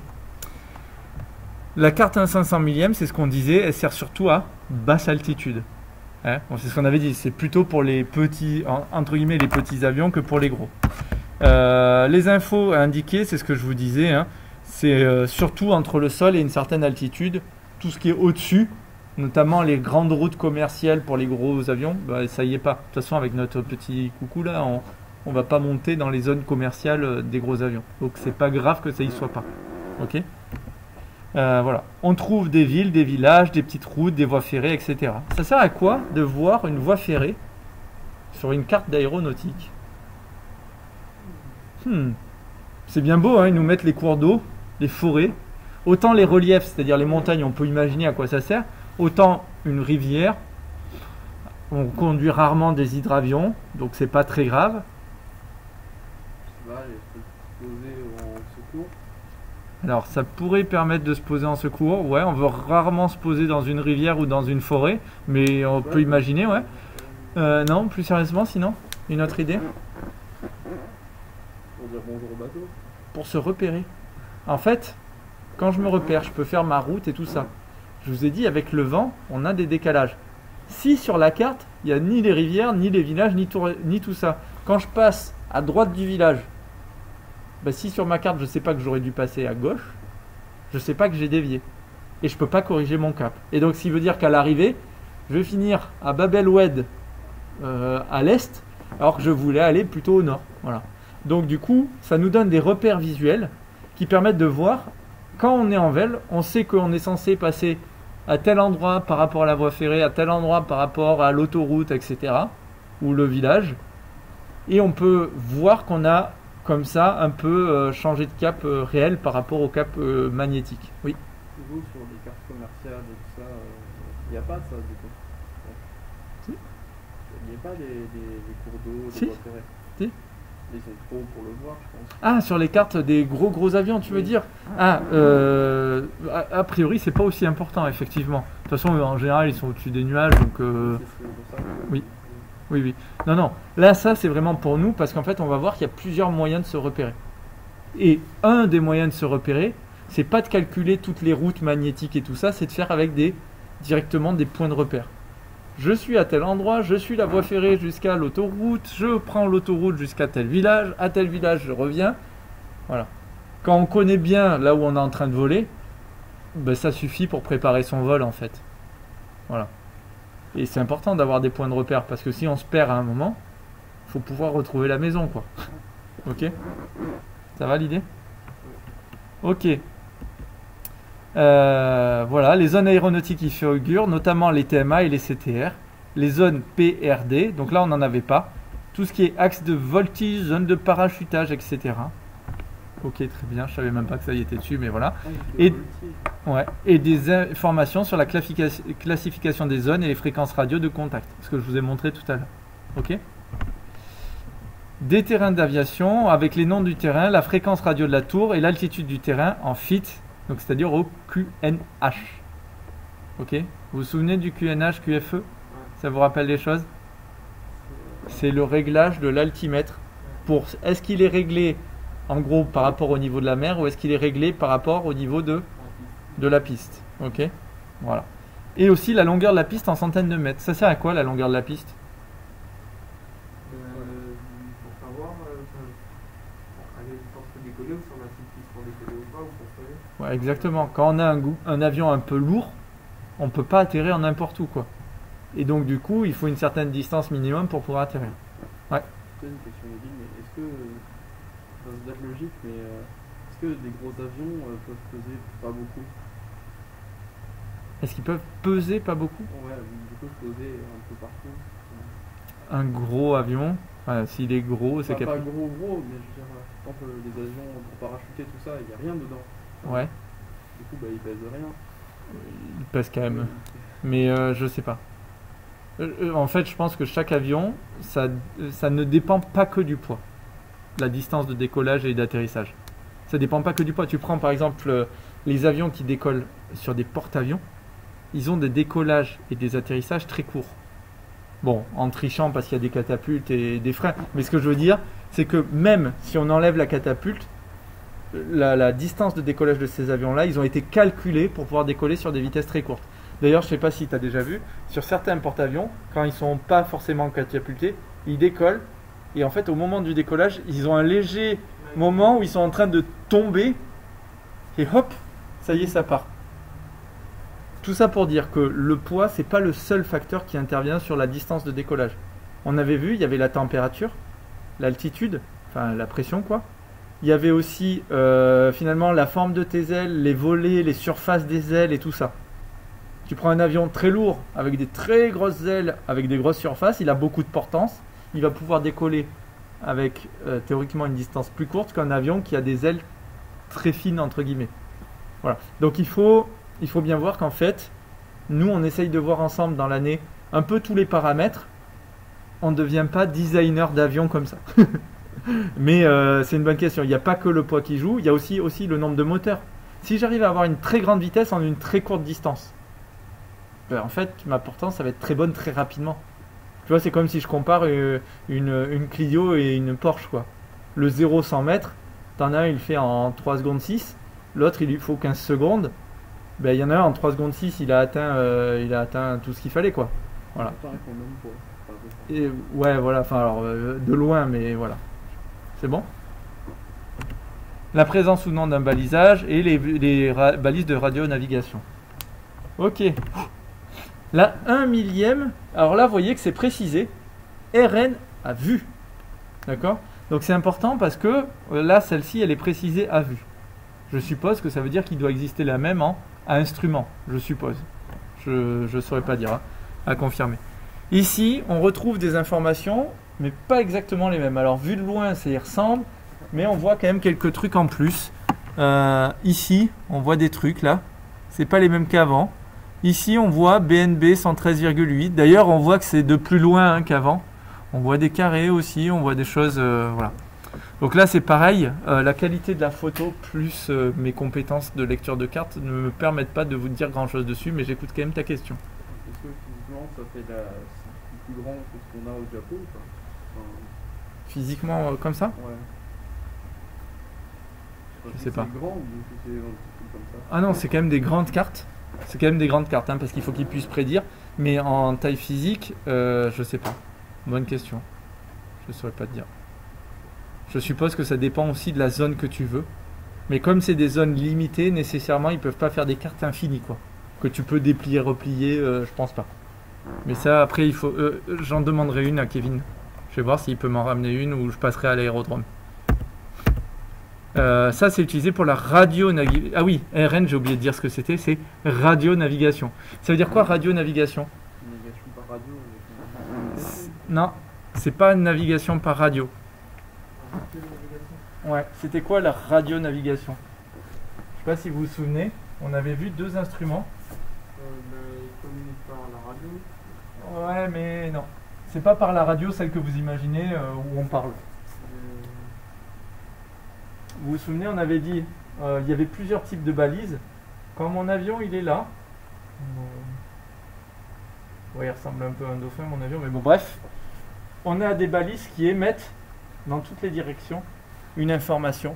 Et mon avion utilise le- la, la radionavigation pour se positionner. Il sait que par rapport à cette balise, il est avec un angle de temps. Ok? Alors attention, je ne sais pas si vous vous souvenez, on avait soit le premier système, j'ai oublié les noms, je suis désolé, Euh, je suis en train de le chercher, je me souviens plus. Voilà, le VOR ou le radiocompas, c'est ça. On avait d'un côté le VOR et le radiocompas. Un des deux où je mesurais l'angle par rapport au signal reçu de la balise, et le deuxième, c'était pas ça, c'est que ma balise, elle envoie des messages différents en fonction de la distance, d'accord? Donc là ici, ce qui veut dire que mon avion, suivant s'il est là comme ça, ou suivant s'il est là comme ça, il mesure pas la même chose, alors qu'il a la même position, d'accord? Ouais. Du coup, il faut plusieurs valises. je suppose. Alors, en fait, euh, il fallait une balise et on fait du relatif par rapport à cette balise. D'accord? Ça, c'est une première méthode. Mais en fait, si je prends mon avion qui est parallèle à cette balise, il a toujours l'impression d'être euh, voilà, parallèle euh, enfin, sur cette, tangente-là. Et ici, la deuxième type de balise, qui elle envoie des messages différents suivant le radial. Vous vous souvenez? Ça, c'est suivant le radial. Et on parlait de QNH. Euh, non. Tout. C'était pas QNH. C'était. QDM. Voilà, QDM. Ok. On parlait de QDM et de QDR. Suivant euh, ce qu'on considérait. Bon, bref. Ce qui était important, c'est de se souvenir un peu de ça. Et donc, on sait qu'on est sur le radial temps de la balise, et donc, du coup, avec le tout et from. Vous vous souvenez de cette histoire? Du tout from? Ok Donc, ça, c'est le VOR. Ok Et là, c'était le radiocompas. Euh, donc ça c'est utilisé pour la radionavigation à vue. Ça veut dire quoi radionavigation à vue? C'est que on utilise les balises, mais on utilise les balises et on a préparé notre chemin. Euh, voilà, c'est quand même le pilote qui a vu dit ok je me règle sur telle fréquence de balise, ça me donne tel truc, il prend sa carte, il regarde ah ben je suis dans telle direction, ah, je dois être à peu près là. Voilà, ça c'est la radionavigation à vue. C'est quoi la différence par rapport aux autres avions? C'est que les autres avions quand ils sont en IFR en vol aux instruments, eux, c'est tout en automatisé, quoi. Tout est préparé à l'avance. C'est pas à vue, c'est pas le pilote qui dit Ok, je suis pas loin de telle balise, allez, je règle, je règle mon instrument pour aller voir où j'en suis, quoi. Vous voyez un peu l'idée? Donc, on est vraiment sur un troisième niveau de pilotage. On a le niveau de pilotage à vue pure, avec les, repères, etc. On a le pilotage radio euh, et on a le pilotage aux instruments purs. Ouais. Ah, non, Ah, du coup, en fait, plus on avance, on, peut, on devient. Euh, on a un petit avion, c'est plus compliqué que des gros, du coup. Alors, c'est pas les mêmes difficultés en fait. C'est, je, je sais pas, je saurais pas dire si c'est plus compliqué ou plus simple, parce que dans les gros, finalement, une fois que tu as rentré ta route, une fois que tu as programmé ton avion, hop, tu te demandes un petit cocktail, euh, tu profites des hôtesses et puis voilà quoi. Alors je dis ça, euh, désolé Kevin, hein, euh, et désolé à tous les pilotes qui auront regardé cette vidéo, mais euh, bon, c'est une blague, mais en gros, ce que je veux dire, c'est que le vol, il est en automatisé, tout est mesuré automatiquement. Là, effectivement, tu plus de boulot. En permanence, tu obligé d'aller voir, régler ton instrument, vérifier si tu es sur la bonne route, etc. Donc oui, le, vol en petit coucou, il peut être vu comme plus compliqué parce que on est obligé de tout adapter en permanence, quoi. Je sais pas si c'était ça la question, mais. Bon, ben voilà. Très bien. Attention, je vous rappelle un dernier truc c'est que souvent, ça, ça ne donne pas la distance. Il faut rajouter un troisième instrument qui s'appelle le DME, qui lui mesure la distance euh, par rapport à la balise. Ok? Il envoie un ping, il écoute quand est-ce qu'est revenu le ping et le temps d'aller-retour. On peut calculer par rapport à l'altitude où on est en faisant euh, un petit Pythagore inversé euh, la distance horizontale. Ok Voilà. Bon, c'est des petits rappels, mais c'est pour que ça fasse le lien avec tout ce qu'on a vu. Ok La 1 de millième, à votre avis, est-ce qu'il va y avoir autant de détails? Est-ce qu'on va retrouver toutes les forêts et tout? Clairement, il n'y a plus rien. C'est plus que des symboles dans tous les sens. C'est les routes commerciales. En gros, là, on imagine bien que ce qui a été représenté, c'est surtout l'espace aérien. L'espace aérien, le reste, finalement, euh, ils s'en foutent un petit peu, quoi. Ils sont, on joue pas dans la même cour. Donc il n'y a pas de raison d'avoir les mêmes infos. Voilà. Et là, on voit bien les villes, on voit des espaces, on voit des routes aériennes. Voyez On voit des couloirs ici aériens. Enfin, c'est hyper intéressant hein, tout ça. On voit des méridiens. 1, 2, 3, 4. Ok Je ne sais pas si vous les voyez ici, là. Hop. On voit des parallèles. Et on voit ce que je te disais tout à l'heure. Sur un des méridiens, ici, ils ont mis des graduations. Sympa pour pouvoir venir au compas reporter sur les graduations. C'est bon? L'idée? Voilà à peu près ce qu'on peut voir. Après, bien sûr, euh, ouais, je crois que c'est à peu près tout ce que je peux vous dire pour ici. C'est déjà pas mal. Hein Donc ici, elle donne que des infos. Euh, voilà. Ils ont, alors, ce qui est important, c'est qu'en fait, bien sûr, eux, ils sont principalement dans les, dans les couches les plus supérieures, mais il faut bien qu'à un moment, ils viennent dans les couches inférieures pour atterrir, décoller, etc.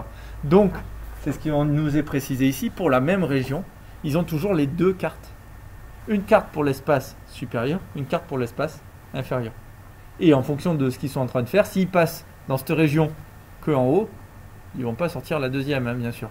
Et ils sortiront la deuxième pour l'espace de départ et l'espace d'arrivée. Voilà. C'est bon? Bien sûr, ces cartes-là ne servent que pour vol IFR. Le vol IFR, c'est le vol aux instruments. Le vol à vue, c'est le vol VFR. Ok, ça c'est deux mots aussi à connaître. Ok. Les méthodes de navigation. Alors là, vous voyez, on est un peu plus tranquille. On est sur ce que je vous expliquais tout à l'heure, donc on va aller un petit peu plus vite. La navigation à l'estime. À l'estime, ça veut dire quoi? Ça veut dire que, en gros, on va tracer la route sur deux points sur la carte. On détermine le cap. Alors, on détermine le cap réel et ensuite le cap magnétique. On fait les, deux, hein, la route vraie et la route magnétique. Donc on se note le, cap magnétique, on calcule le temps de parcours. Le temps de parcours, faut bien être d'accord que ça dépend du type d'avion qu'on a. Si on prend euh, à l'aéroclub de Figeac, là, vous avez vu les deux, les deux avions. Il y avait un Cessna et il y avait le Piper. Déjà, entre ces deux avions-là, ils n'ont pas du tout la même vitesse non plus. Forcément, c'est pas les mêmes avions, mais chaque avion en haut a des vitesses euh, typiques. Alors ça, il faut bien voir que, attention, c'est des vitesses théoriques. Vitesse théorique sans vent. Bien entendu, quand j'ai du vent, ça va, un, me décaler sur le côté, mais aussi, si le vent vient de face, la masse d'air dans laquelle je vole a une vitesse constante. Ma masse d'air, si elle est en train de faire ça pendant que moi je fais ça, ma vitesse finale, elle est plus petite que si ma masse d'air, elle est en train de faire ça. Vous voyez l'idée? Donc il faut y penser, c'est que au décollage, on décale toujours de face, mais après quand on est en l'air, si on a du entre guillemets vent de dos, mais en fait il est jamais de dos, hein, il est toujours face à nous, la masse d'air qui nous, dans laquelle on est en train de voler, elle se déplace. Et si elle se déplace en même temps que nous, bah, c'est comme quand on marche dans un train quoi. Si je marche dans le sens du train, bah, à la fin quand je suis arrivé à la gare, je serai plus proche du bord du quai que si j'ai marché vers l'arrière du train. Bah, c'est la même idée, voilà en avion. C'est bon? Mais par contre, notre avion dans l'air, il a la même vitesse, quoi, en gros. hein. Enfin, il a la vitesse qui est marquée au badin. Ouais? C'est bon? À l'heure prévue, on est censé survoler le point prévu si le cap a été maintenu. Donc, c'est-à-dire qu'on prédit les heures où on est censé passer. Ça nous sert à quoi? De prédire l'heure Pour, euh, pour être euh, qu'on aille à la bonne vitesse, je sais pas. Ouais, indirectement, c'est ça. En fait, ce qu'il faut bien voir, comment je peux mesurer le vent qu'il y a autour de moi si à aucun moment mes instruments n'en ont conscience? Imagine. Alors, je vais faire le dessin parce que ça vous manquait, ça faisait longtemps que j'en avais pas fait. Imaginons, sur ma carte, je prédis donc, que je veux aller de là à de là. Jusque-là, c'est ma route euh, vraie, ça. Ok Ça, c'est ma route vraie. Donc, je calcule mon cap vrai grâce à la déclinaison, je calcule mon cap magnétique pour préparer mon- ma route. hein. Et je sais que mon avion, il fait tant que ça, donc je prends mon compas, je reporte. Ça me donne ma distance en miles nautiques. Ok Et je sais que mon avion, il fait euh, telle vitesse de croisière, donc je calcule mon temps. Donc là, je déduis mon temps de vol entre A et B. Maintenant, ce que je vous propose, c'est qu'on prenne 4 cas, les cas les plus extrêmes, juste pour voir. Cas numéro 1, j'ai pas de vent. Le temps de vol est respecté. Au moment prévu à ma montre, je suis pile poil ici. Merci messieurs, dames, je peux en conclure qu'il n'y avait pas de vent. Bon, c'était le cas simple, c'est le cas idéal, on est content. On va prendre le premier cas. Premier cas, j'ai du vent de travers. C'est-à-dire que durant mon chemin, j'avais un vent qui va soit comme ça, soit comme ça. Ce qui va se passer, c'est que si j'ai maintenu mon cap magnétique, mon avion, petit à petit, il va dévier. Ok? Et en fait, quand je vais arriver ici, je vais me dire Ouh là là euh, J'ai eu un dé- une, j'ai dévié par rapport à, à la ville que j'avais prévue. Il n'y a pas un vent moyen, une moyenne de vent On, on va y arriver justement. Je fais les cas extrêmes. Genre là, c'est que un vent de travers. Et le vent de travers, il fait quoi? Il me dévie de ma route. Donc là, ici, j'ai une route réelle. Et là, ben, j'ai eu une déviation. J'ai eu une déviation de ma route vraie. Ok? Euh, Donc cette déviation me permet d'estimer la vitesse du vent. En fonction de la distance que j'avais pris, si je calcule l'angle, ça c'est ma déviation et donc ça correspond à mon vent, euh, blablabla. Ok? Ça me donne une idée du vent. Ça c'était le premier cas. Euh, le deuxième cas, du coup, si je considère que j'ai déjà fait celui où il n'y a pas de vent. On va prendre un autre cas. Sur mon chemin, j'ai un vent d'arrière. Ok Ah, ouais. Et voilà. Donc en fait, mon temps de vol, j'avais prévu d'arriver à midi 2. Oula, il est 11h50, je suis déjà arrivé à mon point. Ça me permet de me dire, attends, j'ai donc été plus vite de tant de minutes. Ça me permet de donner une estimation du vent que j'ai à l'arrière. Ok Ensuite, bah, le cas inverse, si je suis là comme ça, j'ai prévu d'arriver à midi 2. À midi 2, je suis encore ici. Donc je sais que j'ai du vent de face. Et je peux calculer ma vitesse moyenne.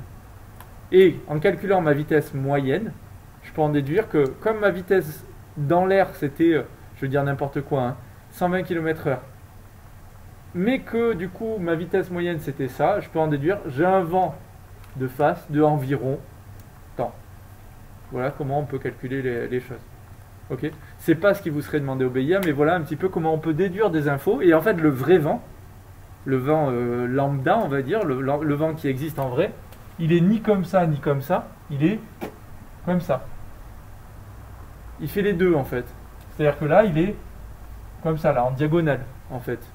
Et en diagonale, ce qu'on peut dire, c'est qu'il a une partie vers l'arrière, une partie vers la droite. En fait, je peux décomposer mon vent dans les cas simples qu'on sait faire. Et je vais dire, bon, j'étais censé arriver là, mais je ne suis pas encore arrivé, j'ai un vent dans ce sens-là. J'ai eu un décalage vers la droite. J'ai dérivé vers la droite, donc du coup, ouais, je sais que mon vent, il pousse aussi dans ce sens-là. Et en estimant les deux, hop, je sais que mon vent, il vient de là-bas. Et si je sais que mon vent vient de là-bas, je vais pouvoir corriger mon cap pour pouvoir maintenir une route vraie. Voilà. Et en fait, pour voler vraiment sur cette route bleue, si j'ai un vent qui vient comme ça, mon avion, il va devoir être légèrement orienté comme ça. Ouais, mon avion a pris un coup de masse là entre temps. Bon, j'exagère, hein, mais on fait un vol, ce qu'on appelle un vol en crabe. C'est-à-dire en fait, pour aller là, je vole comme ça. Et oui, forcément, vu que le vent est en permanence en train de me pousser, ouais. Et la correction, elle est pas faite durant le vol, elle est faite avant. Les, les rapports météo, ils le savent déjà. Alors, théoriquement ou en pratique? Théoriquement. Théoriquement, oui, avec les rapports météo, si on regardait la carte de la météo, on sait qu'on est censé avoir tel vent à tel moment. Mais en pratique, le vent, euh, s'il a décidé de changer, il a décidé de changer. Donc, on peut prédire un petit peu. On sait, attention, je sais que j'ai un vent nord-ouest. Donc, dès le début, je vais pouvoir corriger un petit peu. Mais en fait, c'est là où c'est intéressant d'avoir un pilote dans l'avion. Euh, c'est qu'il va corriger en fonction de ce qui se passe. Voilà. Comme quand tu es en voiture. En voiture, quand tu conduis, ouais, tu as prévu que ton virage il était comme ça.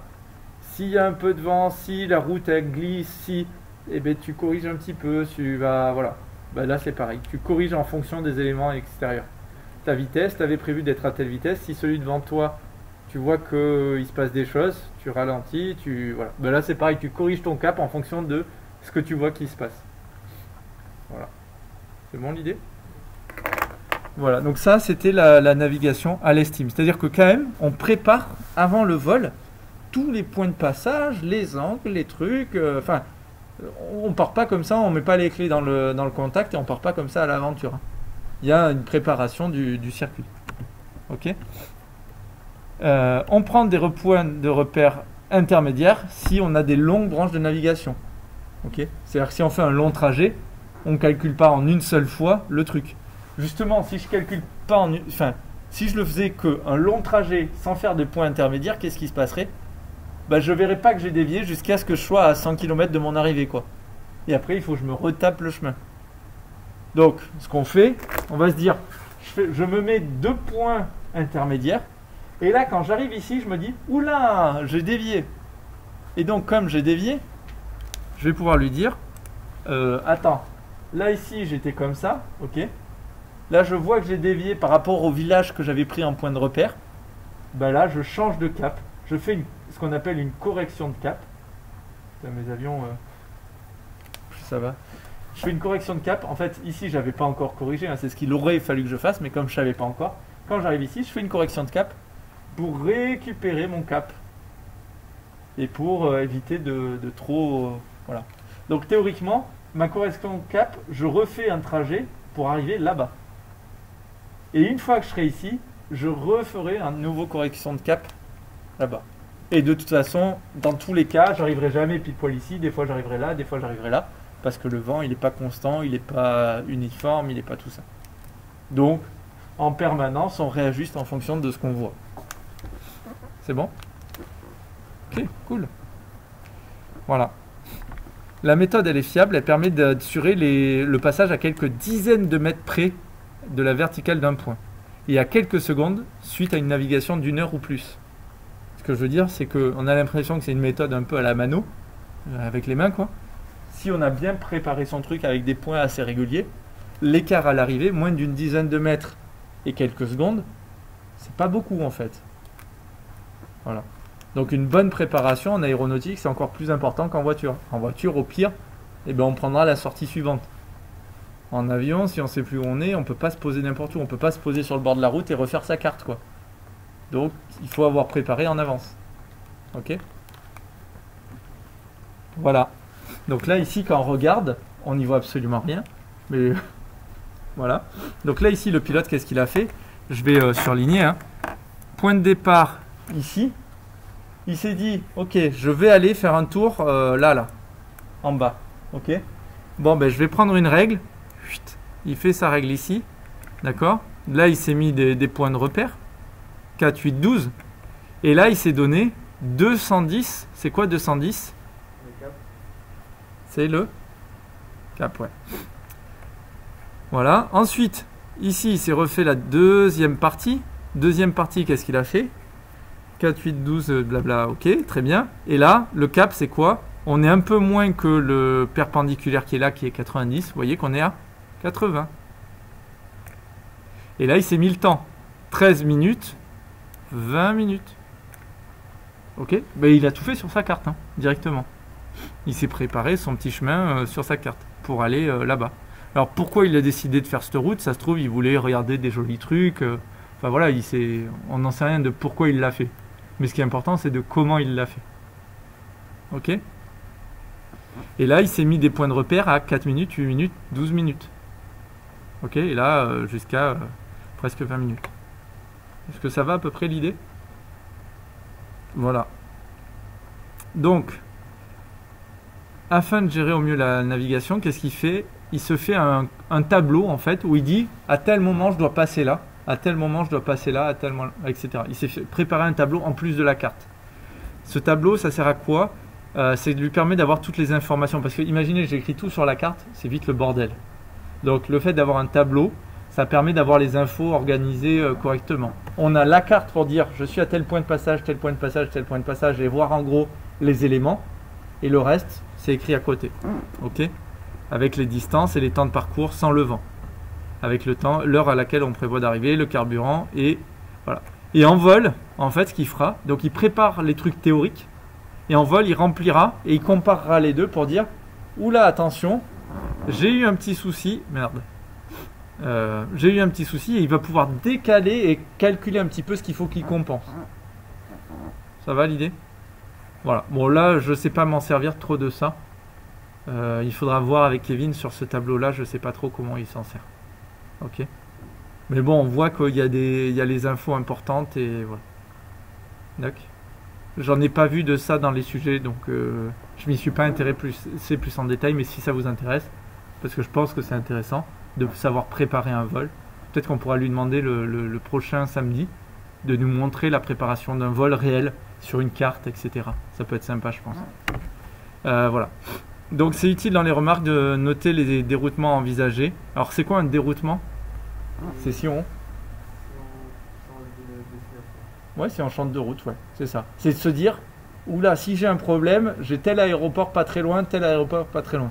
Et c'est important de prévoir parce que bah, quand on est en l'air, euh, prendre des décisions, on peut pas se prendre le temps d'étudier la carte et tout ça. Donc il faut avoir déjà un petit peu euh, préparé, d'accord Voilà. Euh, et ici, dans la colonne RDO, il se donne les différentes balises de radionav qui sont pas loin. Pour pouvoir se préparer aussi, si jamais j'en ai besoin, je me suis marqué les bonnes fréquences. Ça m'évite de devoir lire ma carte en détail, quoi. Voilà. Ok. Le temps sans vent, ça se fait comment? En fait, leurs calculs, ils l'ont compliqué pour pas grand chose. Je prends la distance fois 60 divisé par la vitesse en km heure. Et ça, ça me donne un temps en minutes. Pourquoi il y a le 60 Ben, C'est que d'un côté, j'ai un calcul en km heure et de l'autre, je veux un résultat en minutes. Donc c'est pour ça qu'il y a un 60. Sinon, en gros, la formule, hein, c'est euh, le temps, c'est la, distance sur la vitesse. C'est le calcul classique. Je sais pas si vous saviez le faire ou pas, mais voilà. Euh, voilà, donc voilà. lorsqu'il y a du vent, c'est pas toujours bon et il faut bien voir que les, les vents, ils sont donnés avec deux paramètres, la direction et la force. C'est-à-dire que la direction du vent, ça nous donne dans quel sens il, force, il pousse, et la force, c'est à quel point il pousse. Ça va encore? Voilà. il modifie la vitesse sol et la route suivie. C'est ce qu'on disait tout à l'heure, je ne vais pas revenir dessus, euh, c'est ce que je vous ai expliqué sur mes jolis schémas. Ok? Donc, ici, tout ça, tout ce blabla là, c'est exactement ce que je, vous ai, que je vous ai dit. Et il vous donne la dérive de l'avion. Alors, la dérive, il est noté X et c'est l'angle entre la route tracée et la route réellement suivie. Donc, ici, sur mes schémas, j'aurais pas dû le noter petit d, je suis désolé. Il aurait fallu que je marque la dérive comme un grand X ici. Ok Donc voilà un petit schéma de... euh, bah, c'est le même que je vous ai fait. hein. On a un vent qui est traversant et un vent qui est dans le même sens que nous, sur le, long de la route. Et donc, euh, bah, c'est ce qu'on fait, le triangle des vitesses. Il n'est pas très intéressant, ça, re- ça apporte rien par rapport à ce que je vous avais dit, je pense. Ok Le vent effectif, c'est celui qui est... Alors si les noms sont importants, ça, quand il est parallèle à la route, c'est ce qu'on appelle un vent effectif. Effectif. Et quand il est comme ça, c'est le vent de travers. Ou vent, euh, ouais. Ok. Bon. C'est juste important de savoir à peu près euh, le- le- l'idée. Voilà. En pratique, on repère la dérive, on la note dans, euh, dans, son, dans son tableau là. Et en fait, le fait de mesurer ici la dérive et de mesurer l'écart en temps, alors là, on n'a pas le deuxième partie du, tableau, mais quand on mesure ces trucs-là, ça va nous permettre de corriger le cap en temps réel. On a juste à faire des additions directement, et euh, du coup, on aura directement ce qu'il nous faut. Regardez, quand je veux ici le, le cap magnétique, c'est ici par rapport à ce qu'on avait dit tout à l'heure. Pas la dérive. La dérive, c'est par rapport au vent. Par rapport au magnétique, c'était quoi? La déclinaison. Donc là, ça, c'est la déclinaison. Le grand D, c'est la déclinaison. Et donc, comment j'obtiens le cap, magnétique par rapport au cap vrai Je rajoute la déclinaison. Voilà, c'est ce qu'on avait vu tout à l'heure, hein, il n'y a rien de plus. Et là, si je veux, entre la route vraie pour avoir le cap vrai, il faut que je rajoute ma dérive. Parce que ça m'a poussé par rapport à ma route par rapport à mon cap. Voilà, donc en fait, on fait des additions. L'avantage, c'est que si on a bien préparé son tableau, quand on mesure son truc ici, on va pouvoir additionner pour, hop, reporter notre truc et corriger directement. Et donc finalement, quand on est en vol, on a juste des petites additions à faire, ce qui n'est pas trop compliqué que de reprendre une carte, de calculer. euh. C'est bon l'idée? Voilà. Deuxième cheminement, vous inquiétez pas, on a fini là, c'est c'est, euh, un peu plus simple. Cheminement à vue, ça veut dire quoi? Au lieu de prendre euh, des points qu'on avait déjà vus, on se prend des repères qu'on va suivre. Ce que je vous disais tout à l'heure, la voie ferrée, la rivière, l'autoroute, la ville, le village, etc. Et on va tout faire ça euh, directement euh, à vue. Ok? Voilà. Bon, bien sûr, il faut qu'il fasse une bonne météo. De toute façon, nous, avec le, genre de vol qu'on peut faire, quand on n'a pas de visibilité, on n'a pas le droit de voler. Ok? Attention, quand il y a du brouillard, pas de vol. Parce que comme on n'a pas les instruments, ben, on peut pas voler. Enfin, ça s'arrête là. La question, elle se pose même pas. Ok Voilà. Euh, c'est important d'être hyper rigoureux parce que il faut absolument, s'il y a besoin, pouvoir repasser à l'estime. Donc là, on est sur le vol à vue, mais il faut que si jamais on a besoin, on soit capable de redonner des routes, redonner des caps pour pouvoir s'appuyer sur les différents instruments. Là, on s'appuie sur les points de repère. Ok, on regarde, ah, là je vois ma voie ferrée, hop, je suis ma voie ferrée. Je ne m'appuie pas du tout sur la route magnétique. Mais il faut que j'ai assez bien préparé mon travail pour que si j'ai besoin, à un moment, je perds ma voie ferrée de vue. J'en sais rien, elle est passée sous une montagne, j'avais pas fait gaffe et tout ça. Il faut que j'ai des éléments pour me recaler, repasser avec mes capes magnétiques et tout ça. Ok Parce que sinon, plus le temps passe, plus je vais me retrouver euh, perdu euh, quelque part. Et puis après, pour se retrouver, merci bien. Et si vous êtes bon en orientation comme moi, vous êtes déçu. Ok, donc là, par exemple, ici, voyez, le chemin, il fait Amiens, il va ici, d'accord? Il a suivi la rivière, d'accord? Jusqu'à Péronne. Ensuite, de Péronne, il fait quoi? Il suit ici une sorte de voie ferrée jusqu'à l'autoroute. Ensuite, il suit l'autoroute jusqu'à Roye. Et ensuite, de Roye, il repart vers le euh, nord-ouest, vers Amiens. Voyez un peu l'idée?